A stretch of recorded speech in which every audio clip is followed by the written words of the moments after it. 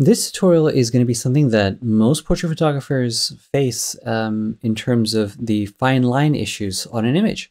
And typically on an image like this, which is provided to us by Brenda Bazan, um, I love the style of photography that she does. And one common thing that I've seen here and reflected into many environmental portraits even and the type of work she does is ensuring the delicacy of the details are preserved and if any work is being done to the images, um, to ensure that there's consistency and we're not really altering the texture too much. And with Infinite Skin, I'm able to do that. And I wanted to show you how and how I can take control over fine lines and under eyes um, with the panel itself. And uh, we're going to go ahead and start by making sure that clarity and smoothing is set to the left. And if you haven't seen the full panel of Infinite Skin, please check out infinite-tools.com where it goes over the entire panel itself and what all these settings and functions do. But through this tutorial, you're going to pick up some things anyway. So I'm going to hit create. It's going to um, generate the group and the layer mask because I have my mask button set to on and my highlight protection is on as well. And now that the group itself is set, I'm going to use my brush tool. I have my flow set to 20% um, that just brings things in a little quicker than 2%, um, but it's not 100%, so it's uh, somewhere in between, at least comparatively. And then I'll come over to the brush section here, my hardness set to 0%, and my size is 175, but that is a relation to your image and it'll be different for every single image.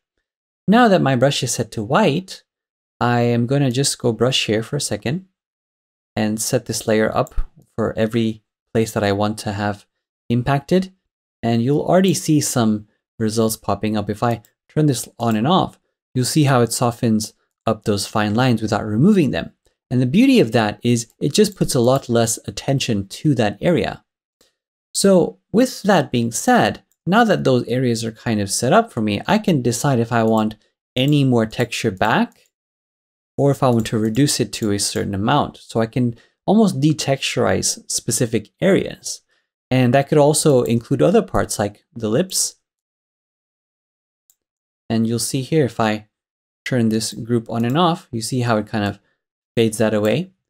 And the same thing for other parts here. And of course, you can run separate layers as well, and you don't have to do them all um, in one if you don't want to, or separate groups, I should say. But it gives you a good idea that if I want to, do other parts, I can selectively and keep other parts based on what areas I'm looking for.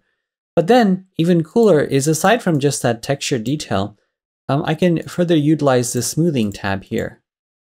And what that does for me is if I want to smooth out the tones in a specific area, you can see how it kind of smooths that out for me just by using smoothing. So if you want to use um, the smoothing slider in areas where you just want to even out tones, you can totally do that. For example, over here, you have the like blotchy skin. If I wasn't doing anything else, like let me use black and cover that up. And maybe if I was only trying to remove the blotchy transitions or, you know, um, tones of the skin, I could just mask that in. And if I zoom in here, you'll see that it's kind of smoothed out those tones while keeping the clarity where I want. So that's also another really great way of using it is on different areas like arms, limbs, things like that, um, where you want to even out some of that blotchiness and those transitions so you have less work to do with dodge and burn. So it goes to show you that this uh, tool, based on the setting that you use and where you want to use it, can control quite a bit. For example, over here, um, today, as I brushed, let me just bring back the eyes as well. Let me bring back the eyes too. So you'll see here that, you know, based on these settings, it will smooth out highlights, it will smooth out texture, but you control how much smoothing you want, which is the position or the transition between highlights to shadows. And you can also decide how much texture detail you want. So with that, you can control things like the appearance of fine lines while keeping the transition close to original. And then you can also decide if you want to um, smooth out some of the tones here. You can decide if you feel like blotchy skin is something you want to tackle. They all have their respective settings. So smoothing being higher and clarity being higher is really good for keeping the texture detail, but even evening out the transitions in the skin that are blotchy. Um, an area like this where you might want to reduce the fine lines, then what I do is have something where it's like clarity is lower and then smoothing is set to the left because it's um, defaulted like that. And then if you increase smoothing, obviously, then the smoothing gets higher. So I kept it to the left and then just reduced the clarity line so the texture de detail goes lower. So those are the two different ways to use it. And I feel like um, this is a, a, good example for, for both of those accounts. Um, anyways, if you have any questions at all, and well, I should say before I go, the let's say that you know you have all these layers and you would like to compress them together or flatten them, come over to the create button and, and right click.